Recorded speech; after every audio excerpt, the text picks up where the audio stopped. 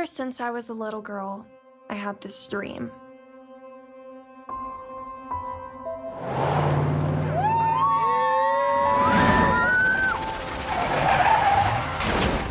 One day, I become the superhero in my very own fairy tale. Hello? See, I got a problem here. It's a three-person wreck. Only two accounted for. Any news? We need something to read. It's a missing persons case. Suspicious circumstances. Every time I opened my eyes, I found myself in a new place. Did you talk to her friends? What happened? Where is she? When will you stop looking for her? When we find her. My wounds were healing quickly. When you're a superhero, sometimes you have to be careful what you wish for, because one day, it may come true. I can fly, Her passport. It's not here. She's alive. The invisible, I called in the accident. The bruises that he has, they're not from the accident. Where is she? Is she okay? fairy tale garden. Fairy Tale Garden!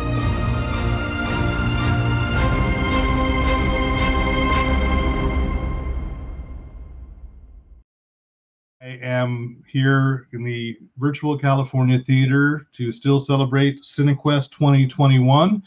And I am very pleased to have with me tonight a writer, director, filmmaker who's got a film at CineQuest called My True Fairy Tale. And it's it's a little different from some of the uh, of the pieces that we we've covered. And so I, I'm really happy to have him here. Dimitri, I hope I said that right. I should have asked that up front. but a lot of people do it's it's actually my name is dimitri and uh, it, um, it's actually something that my daughter uh, uh, enjoyed calling me uh, as i started making films it, it- but it's really dimitri so i just say D, dimitri that's it okay, I was going to ask about that. Why have that? Uh, but that's that. That's really sweet. So let's let's talk about my true fairy tale, which is a bit of a fantasy, a bit of a science fiction.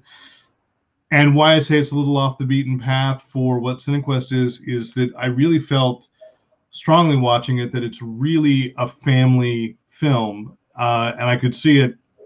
I- don't. It's not coming from a novel, but as a YA novel, and that was getting adapted to film. So, what was the genesis of my true fairy tale? Um, well, first of all, thank you for having me, Derek. The uh, the, the truth of the matter is, I um, it was not the film that I wanted to make as my first feature film uh, because it's um, it's about my daughter who um, abruptly had to depart. Um as par- as uh, uh, as an accident happened uh, um, roughly about four years ago on Memorial Day weekend, 2017, and uh, um,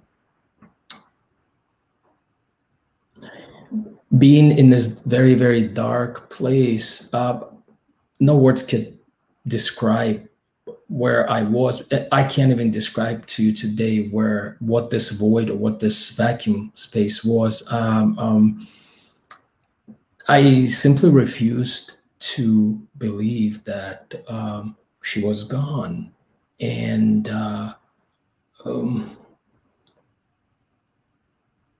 I started speaking with her friends, um, and uh, I decided to paint her back to life because I thought that th- that's how I felt, and uh, I felt that the only way I could do this is by doing what I know is by telling a story, a story about her where um, she is um, alive. Hmm And, and I can't imagine honestly going through that pain, but uh, it is an inspirational film, a hopeful film, and uh, many points to, I, I guess, you know, guiding those those behind i i i to seizing life. And so, you know, I'll ask as you were at as you were interviewing her friends, or maybe that's too clinical a word for it. As you were talking with her friends, did you get a new side to her to build the the character in your film? I never looked at it that way. Um, I, I, I spoke to her friends. Um, sort of, I, I almost became one of. Uh, I, I became a friend to her friends. I became part of the gang, sort of. And um, I like to think that I was very, very close with Alyssa, and uh, um, she made me feel like I was her best friend. And in a way, she had this ability of making everyone next to her feel that she was the best friend of that person. So, in fact, we had a best, she was everybody's best friend. Um, building a character, I maybe sub, on a subconscious level, but um, I think um, she really co. As funny as, as it may sound, she co-wrote the film with me, and she more or less let me know how she wanted this story to be told. That makes any sense.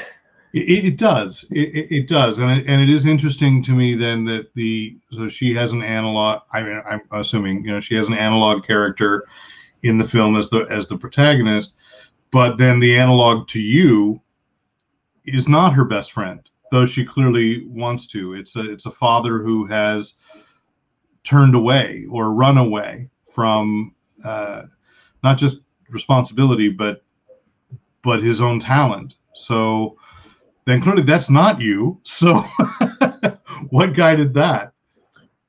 Well, that's you bring up a very very good point, uh, and this film is inspired by true events, but I would say it would be stretched to say it's based on true events. It is not, and it's quite fictional. Um, and I, uh, in real life, my relationship with Alyssa was a little bit different, and from the character standpoint, um, yeah, the, the the the father figure in the film is not very likable persona until that arc is made.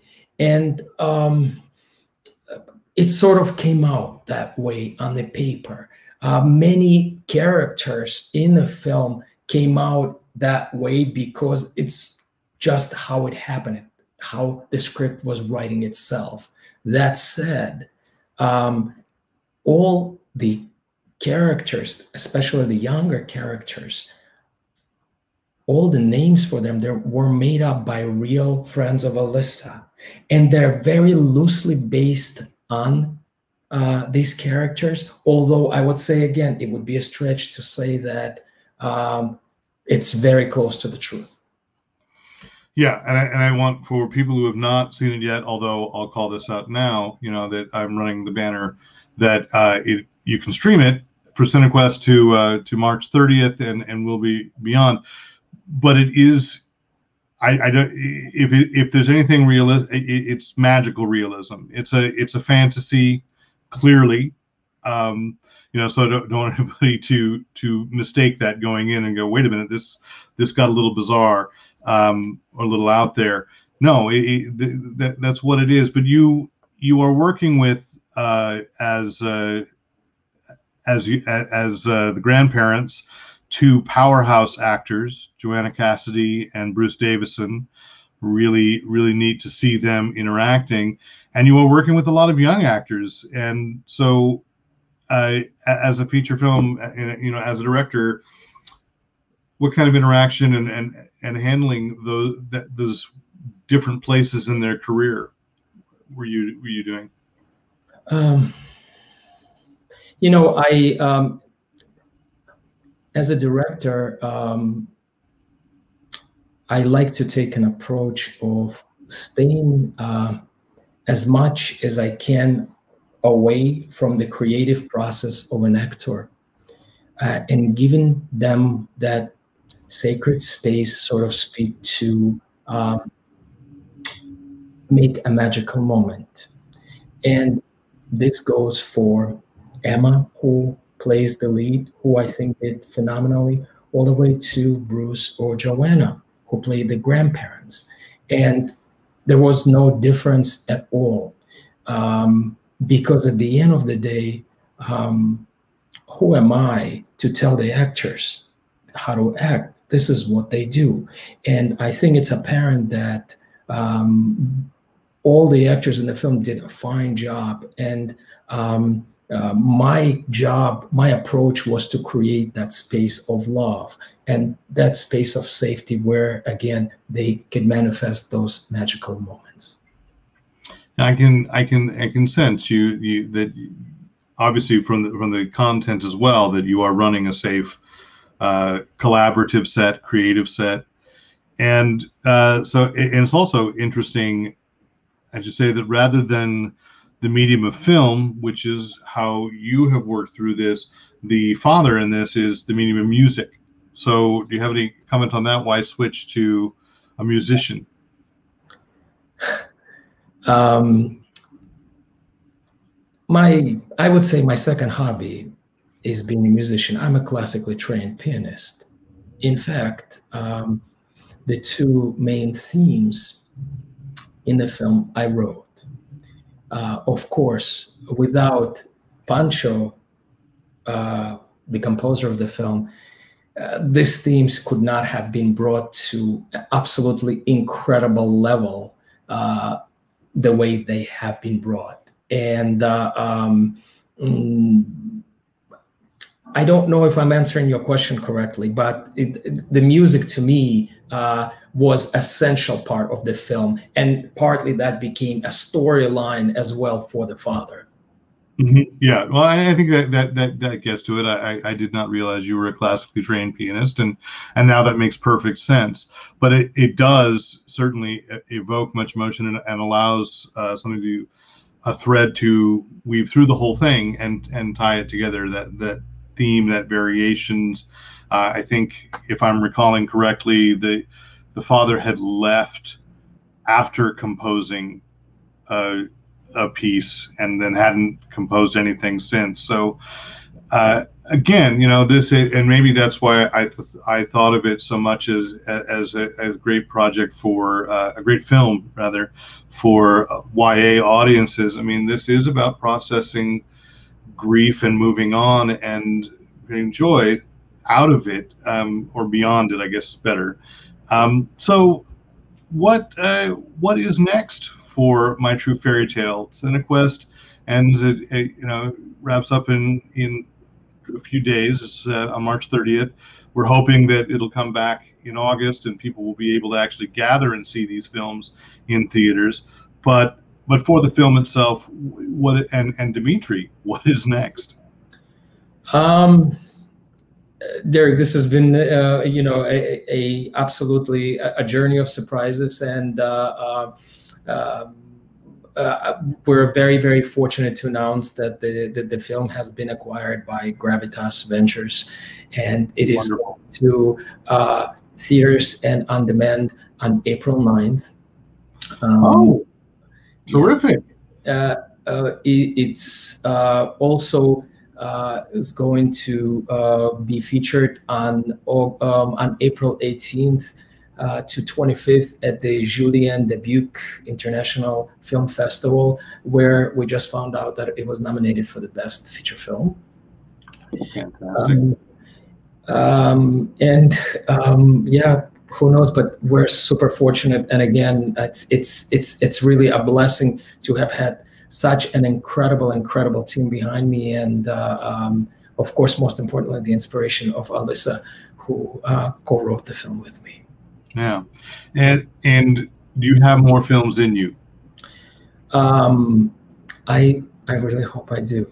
Um, I uh, have a few projects that I'm currently uh, in discussions with uh, several production companies. Um, and I'm very excited about a few in here, um, especially one story um, uh, with a similar content that um, somehow found its way into here. And uh, I just need to find a time to put it on the paper. Okay. Well, thank you so much for taking the time this evening to, to talk, and uh, thank you for your film. Uh, true labor of love, and and and every bit of that love is on the screen. So, once again, thank you, and and best of luck with this. Thank you so much, Derek. Thank you very much. Okay.